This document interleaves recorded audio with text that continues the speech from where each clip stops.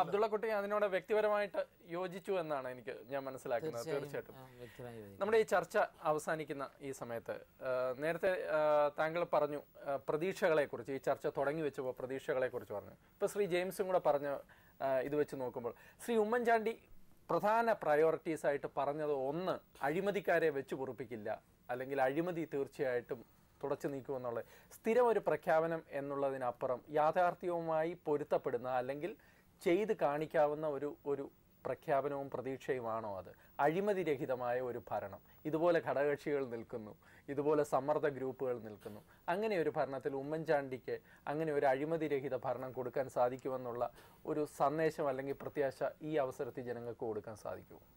ഒന്ന് അത് സാധിക്കും എന്ന് എനിക്ക് തോന്നാൻ കാരണം ഇപ്പോൾ ഉമ്മൻചാണ്ടിയുടെ രാഷ്ട്രീയ ജീവിതം ഒരു തുറന്ന പുസ്തകം പോലെയാണ്. അദ്ദേഹത്തെ ഇതിന്റെ രാഷ്ട്രീയത്തോട് എന്തെങ്കിലും അഭിപ്രായ വ്യത്യാസമുള്ളവർ പോലും അദ്ദേഹത്തെ പോലുള്ള നേതാക്കൾ അഴിമതി രഹിതമായ ഒരു ജീവിതത്തിന്റെ ഉടമയാണെന്ന് സമ്മതിക്കുന്ന ഒരു സമൂഹമാണ് അദ്ദേഹം അദ്ദേഹത്തിന്റെ നേതൃത്വത്തിലുള്ള ഒരു ഗവൺമെന്റിൽ എനിക്ക് തോന്നുന്നത് അദ്ദേഹത്തിന് അഴിമതിക്കെതിരെയുള്ള ഒരു ധർമ്മസമരത്തിൽ വിജയിക്കാൻ കഴിയും എന്ന ഒരു വിശ്വാസമാണ് എനിക്കുള്ളത്. രണ്ടാമത് ഇപ്പോൾ കേന്ദ്രത്തിൽ നമുക്കറിയാം ഞെട്ടിപ്പിക്കുന്ന ചില അഴിമതികൾ വന്നിട്ടുണ്ട്. ടു ജി സ്പെക്ട്രം ആയാലും നമ്മുടെ ഗെയിംസിന്റെതായാലും മറ്റും. അതിനോട് ഉമ്മൻചാണ്ടിയുടെ നേതാവ് സോണിയാഗാന്ധി എടുക്കുന്ന നിലപാട് വളരെ വളരെ ഷാർപ്പായിട്ടുള്ളതാണ്. രാജ മാത്രമല്ല കനിമൊഴിയും ജയിലിൽ പോയി. യാതൊരു കോംപ്രമൈസും ഇല്ല എന്നുള്ള നിലയിലാണ് ശക്തമായ നിലപാട് സോണിയാഗാന്ധിയുടെ എ കെ ആന്റണിയുടെ ഒക്കെ നേതൃത്വത്തിൽ എടുക്കുന്നത് ഇപ്പം ഇന്ത്യയിൽ അടിമുടി നമ്മുടെ ജീവിതത്തിൽ അഴിമതിയുണ്ട്. അത് രാഷ്ട്രീയക്കാർക്കിടയിലുണ്ട് ഉദ്യോഗസ്ഥന്മാർക്കിടയിലുണ്ട്. അതൊരു പെട്ടെന്ന് നമുക്ക് ഒഴിവാക്കി കളയാനൊന്നും കഴിയില്ല. അതിനെതിരായി ശക്തമായ സമരം വേണം. ആ സമരത്തിന് ശക്തമായ നേതൃത്വം നൽകാൻ അർഹതയുള്ള പാകതയുള്ളൊരു നേതാവാണ് ഉമ്മൻചാണ്ടി സാർ. അദ്ദേഹത്തിന് അക്കാര്യത്തിൽ വിജയിക്കാൻ കഴിയും കഴിയട്ടെ എന്ന് നമുക്ക് ആശിക്കാം. തീർച്ചയായിട്ടും ശ്രീ ഭാസുരേന്ദ്ര ബാബു എങ്ങനെ ഈ ചർച്ച അവസാനിപ്പിക്കാൻ താങ്കൾ ആഗ്രഹിക്കുന്നു. താങ്കൾ ഈ ഘട്ടത്തിൽ ഒരു പ്രതീക്ഷ വെച്ച് പുലർത്തുന്നുണ്ടെങ്കിൽ അത് ഏതൊക്കെ ഘടകങ്ങളെക്കുറിച്ചാണ് ഉമ്മൻചാണ്ടി സർക്കാരിനെ സംബന്ധിച്ച്? ഉമ്മൻചാണ്ടി സർക്കാരിനെ ആദ്യം സൂചിപ്പിച്ചത് മാതിരി ഇതിനു മുമ്പുള്ള സർക്കാർ നേരിട്ടിരുന്ന വെല്ലുവിളികൾ പ്രതിസന്ധികൾ അക്കാര്യത്തിൽ പ്രതിപക്ഷം തന്നെ അന്നത്തെ ഭരണകക്ഷി എടുത്ത നിലപാടുകൾ.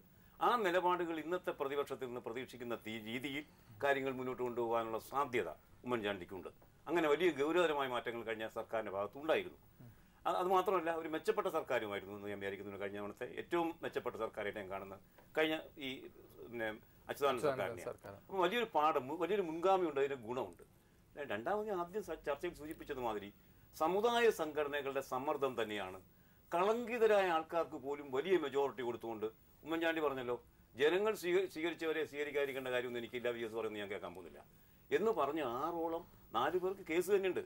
മന്ത്രിമാരായി വരുന്ന ഒരു സാഹചര്യത്തിൽ അവരൊക്കെ കൂടി ഈ സമുദായ സംഘടനകളുമായി ചേർന്ന് സമ്മർദ്ദം ചെലുത്തുമ്പോൾ ഉമ്മൻചാണ്ടിക്ക് എങ്ങനെയാണ് അതിജീവിക്കാനാവുക? ഇതിനു മുമ്പ് എ കെ ആന്റണിക്ക് പോലും നിവൃത്തിയില്ലാതെ അദ്ദേഹം നാടുവിട്ട് പോയതാണ്. തീർച്ചയായിട്ടും തീർച്ചയായിട്ടും. ശ്രീ പി പി ജെയിംസ് ഈ പറഞ്ഞ ഇതിനെ എല്ലാം കൂടെ ചേർത്തിട്ട് താങ്കൾ എങ്ങനെ ഉപസംഹരിക്കും അല്ല ഞാൻ ഇതിൽ കാണുന്നത് ഉമ്മൻചാണ്ടി ഇപ്പോൾ കേരളത്തിലുള്ളവരിൽ അത്യാവശ്യം ഒരു വിഷനുള്ള എനിക്ക് എന്റെ ഓർമ്മ അറിവ് ശരിയാണെങ്കിൽ അദ്ദേഹം ഇതിനു മുമ്പ് നല്ല ഹോംവർക്ക് ചെയ്ത് പത്തിരുപത്തിനാല് പ്രൊഫഷണലുകളെ ഇരുത്തി നല്ല കുറേ പ്രോജക്ട്സ് വർക്കൗട്ട് ചെയ്തിട്ടുണ്ടെന്നാണ് എന്റെ സാധാരണ ഇവിടെ ഒരു ഐ എ എസുകാർ വന്നിട്ട് ഒന്നര വർഷം കൊണ്ടെടുക്കാവുന്ന കാര്യങ്ങളാണ് അദ്ദേഹം പെട്ടെന്ന് ഇപ്പോൾ നാളെ വേണമെങ്കിൽ ലോഞ്ച് ചെയ്യാവുന്ന രീതിയിൽ. ഇപ്പോൾ കൊച്ചി മെട്രോയുടെ കാര്യം അവിടെ പോയി ഡൽഹിയിൽ സംസാരിച്ചു വിഴിഞ്ഞത്തിന്റെ കാര്യം സംസാരിക്കുന്നു. ഇതൊക്കെ വെച്ച് നോക്കുമ്പോൾ അദ്ദേഹത്തിന് നല്ല ഐഡിയ ഉണ്ട്. അദ്ദേഹം ചെയ്യേണ്ട ഒറ്റ കാര്യം ഉമ്മൻചാണ്ടിക്ക് എന്നും പറ്റുന്നൊരു പ്രശ്നം ഇതാണ് അദ്ദേഹം ഒത്തുതീർപ്പിനില്ല എന്ന് പറയും. പക്ഷെ എല്ലാവരും സമ്മർദ്ദം ചിലപ്പോൾ പാവം അത് ഒതുക്കി കൊടുക്കും. ഒന്നും ചെയ്യാൻ പറ്റാത്ത അവസരം. ഉമ്മൻചാണ്ടി മുഖ്യമന്ത്രി എന്ന നിലയിൽ സ്ട്രോങ് നിലപാടെടുത്ത് വികസന പദ്ധതിയുമായി മുന്നോട്ട് പോയാൽ ഈ അദ്ദേഹത്തെ ഭാഗ്യസമ്മർദ്ദങ്ങൾ ഉണ്ടാക്കി പോകുന്നവരോട് ഒത്തുതീർപ്പില്ലാതെ അദ്ദേഹം രാജിവെച്ച് പോയാൽ പോലും അദ്ദേഹത്തെ തിരിച്ച് ജനങ്ങൾ കയറ്റും. അല്ലാതെ അദ്ദേഹം ഒത്തുതീർപ്പിന് തയ്യാറായാൽ ഉമ്മൻചാണ്ടിക്ക് കിട്ടുന്ന ഏറ്റവും ഗോൾഡൻ ചാൻസ് ആണ് ഇവിടെ പറഞ്ഞ പോലെ. ആ ഒരു സുവർണാവസരം നഷ്ടപ്പെടുത്തിയ ഒരു മുഖ്യമന്ത്രി എന്ന് അദ്ദേഹം പഴി കേൾക്കേണ്ടി വരും. ഉമ്മൻചാണ്ടിയെ സംബന്ധിച്ചിടത്തോളം this is the best chance ഇറങ്ങിപ്പോയാലും രാജിവെച്ച് പോയാലും ജനം ഒരു പ്രശ്നം തീർച്ചയായിട്ടും തീർച്ചയായിട്ടും. അതാണ് ഉമ്മൻചാണ്ടിയെ കുറിച്ചുള്ള കാര്യം. ഇന്നത്തെ ഈ ചർച്ച ഇന്നത്തെ പോയാലും പ്രശ്നമില്ല? ഇന്നത്തെ- ചെയ്തിട്ട് പോയാലും പ്രശ്നമില്ല. ഇന്നത്തെ ഈ ചർച്ച ഇവിടെ അവസാനിക്കുകയാണ്.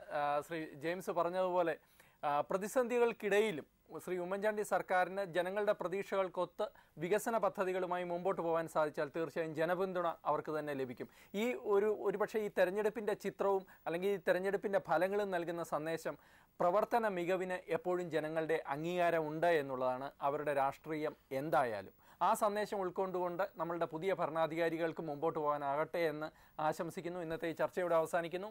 വീണ്ടും അടുത്ത ആഴ്ച മറ്റൊരു വിഷയവുമായി കാണാം. ഇന്ന് ഈ ചർച്ചയിൽ പങ്കെടുത്ത ഏവർക്കും നന്ദി.